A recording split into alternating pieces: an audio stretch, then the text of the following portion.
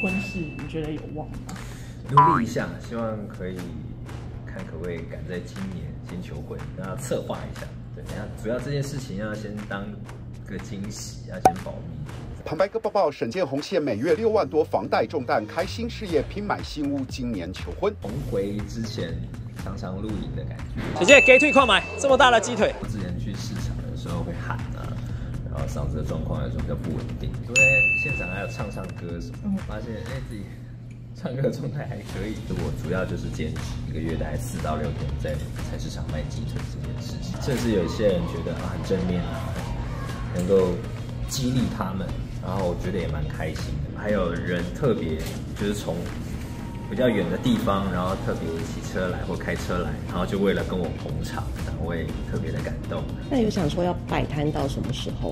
啊，有想过这件事情，因为现在年后了嘛，所以稍微啊会慢慢开始走向淡季这样，但其实也会稍微再尝试一下，甚至也会思考说，哎，要不要换一些产品？然后夏天要来了。所以也会思考说，哎，看夏天大家需要什么？每个月开销有十几万，每个月啊，没有到那么高了。现在每个月要还到六七万，就会有点压缩到生活的品质，就是两房的房子，对，快快快两快两千这样。嗯，演艺圈就是不一样，因为你知名度有时候会比较好的时候，哎，你收入来源可能会很快。那你可能过了一段时间，哎，大家可能遗忘你了之后，你可能你的收入就会锐减。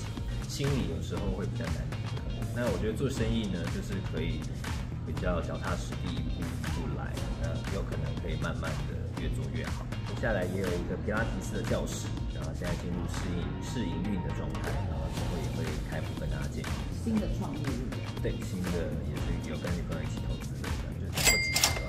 那今年婚事你觉得有望吗？